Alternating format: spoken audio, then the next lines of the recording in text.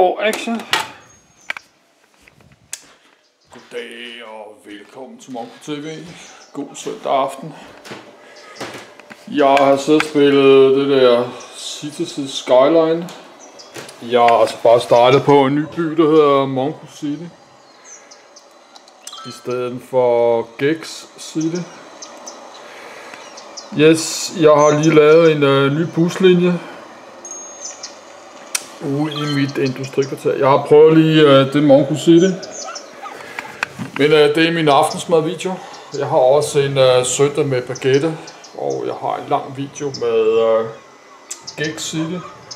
Som er sådan en monsterby med, Øh, med, med zoner i øh, høj øh, bebyggelse. Nu prøver jeg noget andet. Jeg holder mine zoner i øh, lav, øh, lav øh, bygge Øh, uh, densitet, jeg ved ikke hvad man siger. Yes, det er de der byggezoner. Jeg holder dem på lav nu, så ikke det hele går op i trafikkaos. Yes, jeg har så heller ikke 64, 70, 80, 90.000 indbyggere. Jeg laver bare sådan en lille hyggeby. Yes, jeg vil spise min uh, nudelsuppe. Klokken er 20 år 20 år 6, men den kan altså godt komme rigtig sent, den her video her. Fordi øh, jeg har bare tænkt mig at spille videre. Jeg skal ikke noget af det her. Så. Men jeg har lige bygget den der nye, jeg har tre busruter i min by her. Og i forskellige farver, i øh, rød, blå og i øh, gul. Så kan jeg jo bedre se forskel.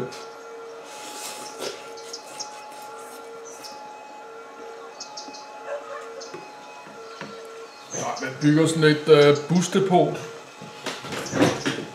Og så er der sådan busstopsteder, man øh, klikker på langs kanten af vejen, og så når man har fuldført runden, så laver den en ny rute.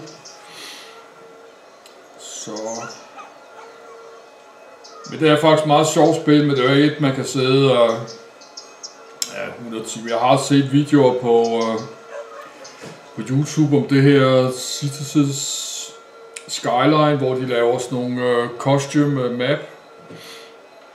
Ja, de laver sådan nogle øh, map, øh, ørkenmap, de selv laver med sådan nogle små ørkenbyer og sådan noget.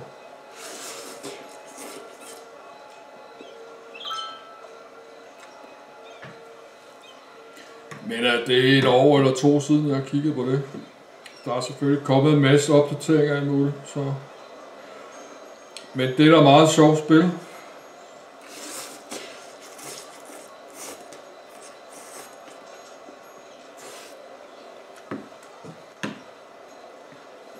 Men det sådan et spil, man sidder alene med en vinter. Når man har først prøvet at bygge et par byer, så gider man ikke rigtigt. Yes, jeg vil bare sidde og spise øh, min nudels, nudelsup her. Og så vil jeg spille øh, lidt videre. Og så vil jeg sidde og klo på det her. Yes, skal I have en god søndag aften også. Der kommer en, øh, jeg tror det er så min øh, dag 46 eller 47.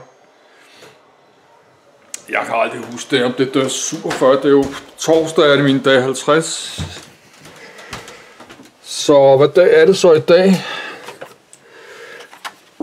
Yes. Det er 41, 2, 3, 4, 5, 6, det er 7, jo, det er 47, 48, 49, 50. Yes. Nej, 41, 2, 3, 4, 5, 6, 7, 8, 59. 2, Nej, det er dag 46 dage. Yes, lad os holde øh, videoen under 5 minutter, fordi hvis jeg skal fortsætte 100 dage øh, med YouTube-channel, så skal jeg have noget øh, plads. Cirka sådan 5 minutter, det er 1 gigabyte. Yes, godt.